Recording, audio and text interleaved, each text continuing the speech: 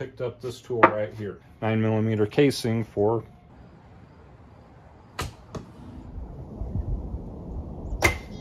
Interestingly enough, my number one video uh, viewed to date is my arrows making video for all of the bows that I make. That's the number one video.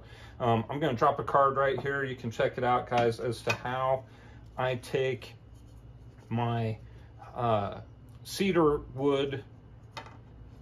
They're not shafts here. They're they're square cut. Is what they are. They're 3 eighths by 3 eighths inch square, and then uh, round them out into shafts. But for these shafts, I actually did something a little different. I changed up my process for, uh, you know, doweling them out, and we're going to cover that in just a moment. I also did some upgrades to the spine testing uh, jig that I have.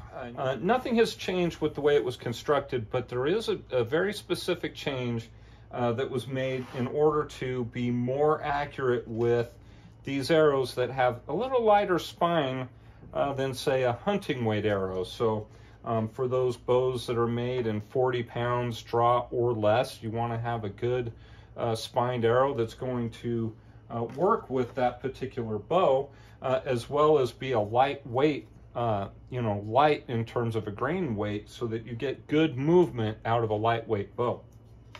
Uh, so in my original video about making shafts, I used this uh, shooting board. And uh, what I did was I picked up this tool right here. Guys, I'll put a link in the description down below where you can you can go on Amazon and pick this up.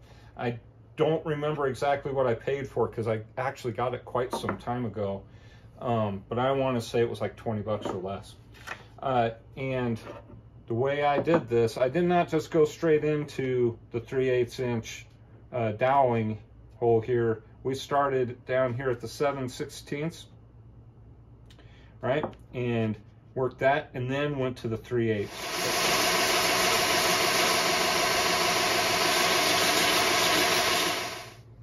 All right, we want to be careful chucking this uh, shaft into our our drill in that we don't want to grind up the uh, wood and uh, being cedar it will easily tear up.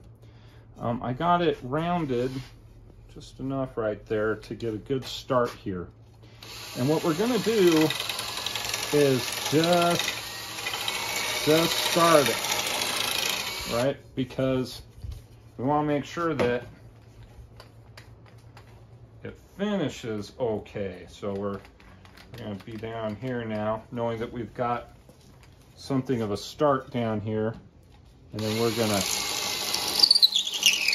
finish everything off like so. All right. All right. Off my thing. Now it's basically just taking the corners off and you can see that it's it's pretty torn up. And that's why that's why I start at the 7 16ths inch size. All right, so here we go. I have adjusted it now to the 3 8 inch mark. I'm gonna chuck this guy up again. And just like we did last time around, we're just gonna get a start.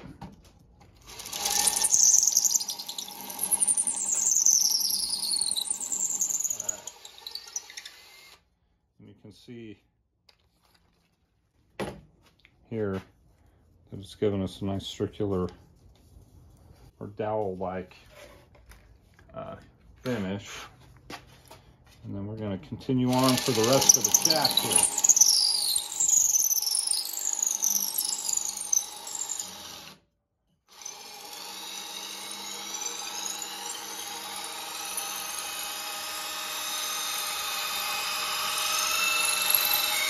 All right.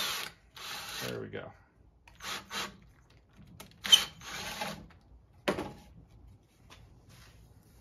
And that gives us our rough shaft right there. Can see this. right? So that is a 3 8 inch shaft, which is um, a wider diameter than we're going to need for any arrows that we're doing, you know, at, at, least traditionally speaking. Okay, I have once again chucked up the uh, shaft here. I got some drywall um, abrasive here, like drywall sandpaper that has this this kind of mesh look to it. And the reason that I use that paper in this jig is so that the um, all of the dust that that accumulates in the course of sanding these shafts, it goes into that into that mesh and comes out of here a little bit easier. And what I am using here is a jig that when the two halves are put together, this is a 3 8 inch hole right here, and this is a half inch. I use the half inch because once you put the paper in there, it, it pretty much reduces it to less than an eighth of an inch, or not an eighth, but 3 eighths of an inch uh, setup. All right, so I'm gonna get this situated on the shaft of the arrow, just like so. And, and just sand it.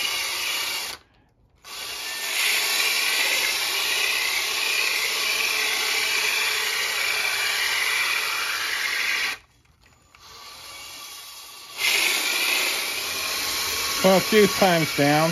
And I want to say that that paper that I'm using is, it may be 80 grit. That may be 80. I'm not 100% sure. 80 or 120 or 100 rather. Look at how smooth that is now. So that has really smoothed out that shaft. All right. And that's the point at which we turn to actual paper. I have here some 100 grit garnet. I'll go with the new surface here.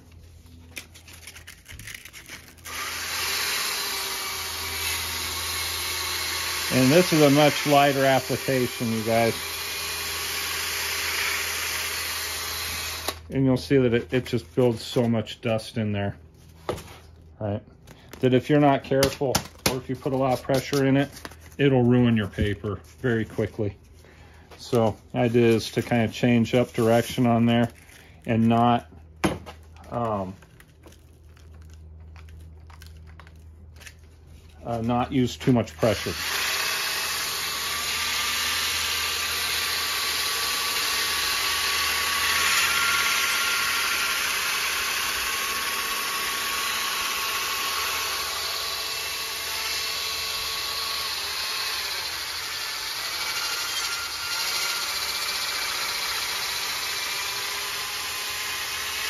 And you'll know when you're using too much pressure because you'll feel the heat. You'll feel the heat starting to build up in there. Here we are.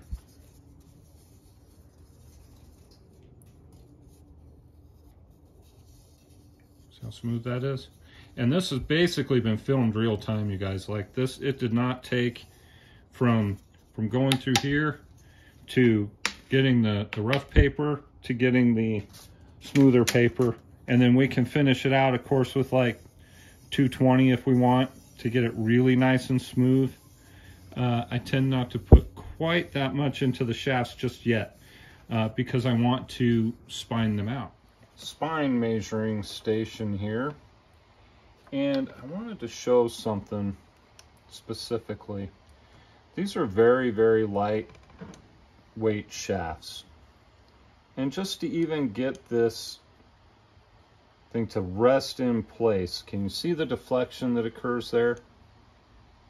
Like this is happening before it ever even actually begins to measure with a weight, you know, in place. So I got to hang another two pounds weight to get our deflection, but I'm already getting a little bit of downward pressure as a result of the spring on this piston.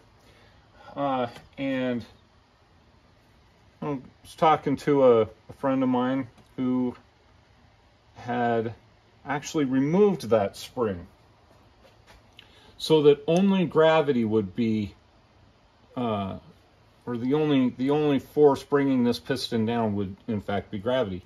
All right, I've gone ahead and loosened the screws here to get in here. And this is going to be easier than I thought. You can see the spring right here. See the spring right there? All we got to do is unhook that spring. Um, that was even easier than I thought. I just got in here with a pair of needle nose pliers and unhooked that spring. I should have just filmed it when I did it. So, wasn't very difficult at all. And now, this is strictly uh, governed by gravity. So this is going to be perfect for uh, measuring arrows without getting a false reading. Now let's see how that deflection works on a shaft.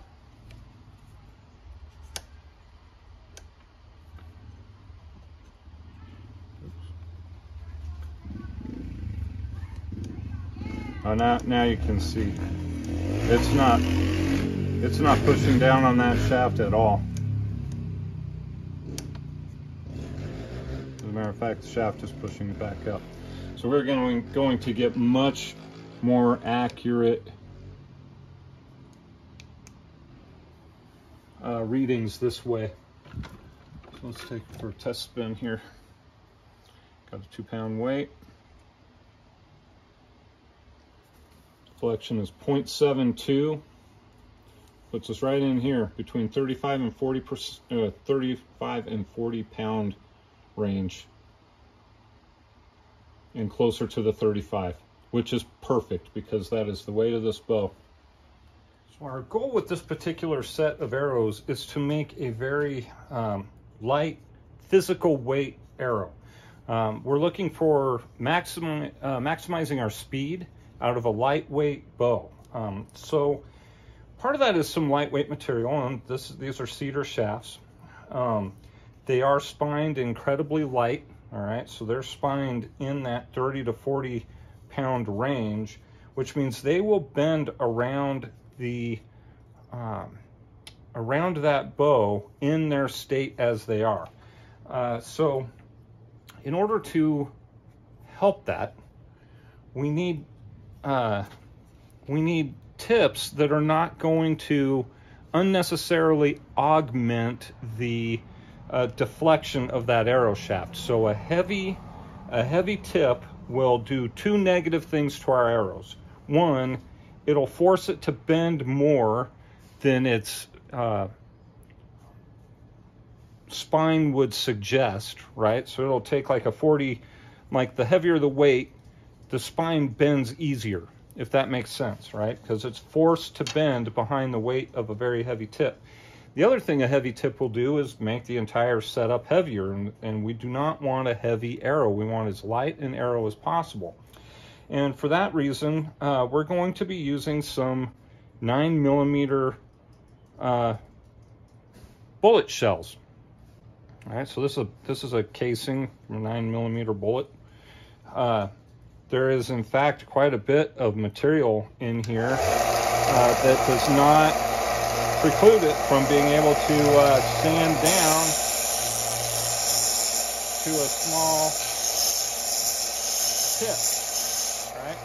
Uh, so I've got it set up on a hot on a shaft piece right here where I can uh, then run it against the belt keep everything circular. I suppose I could chuck it like this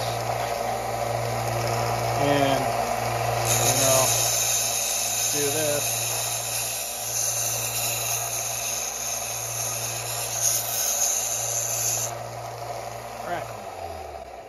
So there you can see we've got a bullet tip, uh, ironically enough, out of the casing of a bullet. So now we can use this tip to then put on our arrows and what that'll do is a it'll give us it'll give us a little bit of forward momentum, but it gives us the penetration uh, piece and a little bit of forward uh, weight on that shaft, just a little, because these uh, these tips end up being somewhere in the neighborhood of like 40 grains. I've had them come out as, as light as like 38 grains, as heavy as like 42. Um, and you can come back to the sander or the grinder and, and take off a little bit more if you want to get them all matched exactly. The last piece of the puzzle for our shafts. So um, what I have right here is a 3 8 inch rope pulley. Um, a hangover from from doing work on uh, tillering trees. So uh, I've got some extra pulleys kicking around.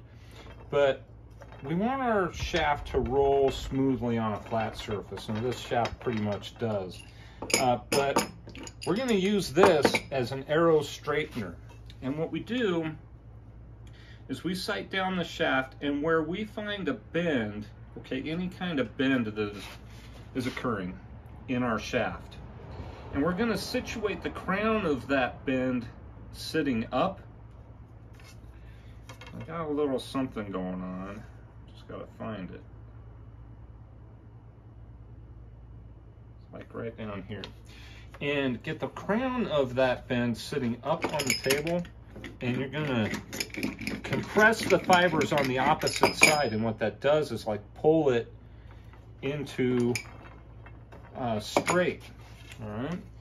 And so all of your shafts, if you take a little, little bit of time, especially when they're new, to know where they've got little kinks in there, and you roll it out with a you know, pulley like this, and you end up with nice straight shafts. The weight of that tip is 40 grains.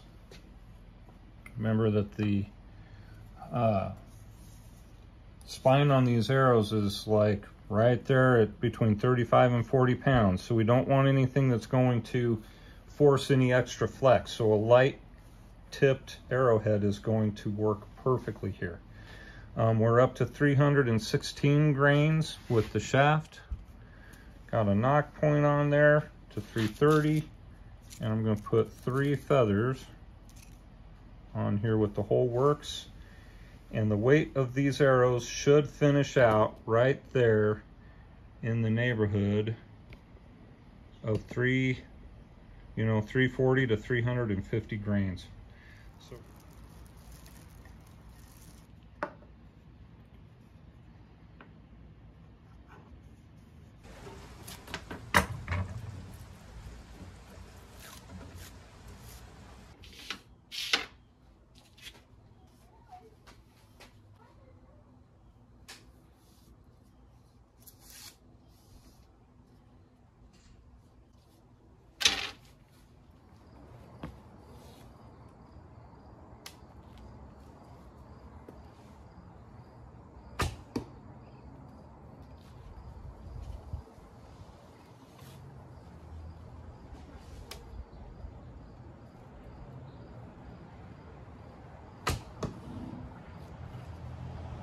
very flat trajectory on those arrows.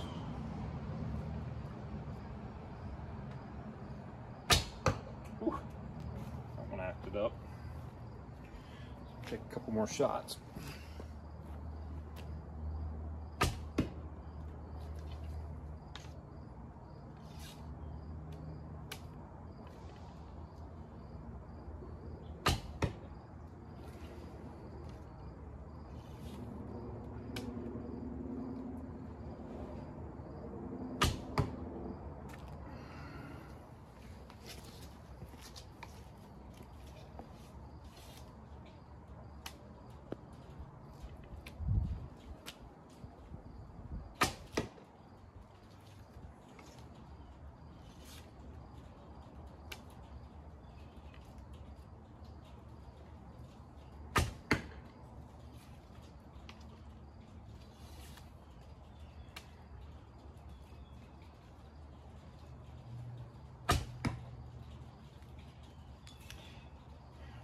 Yeah.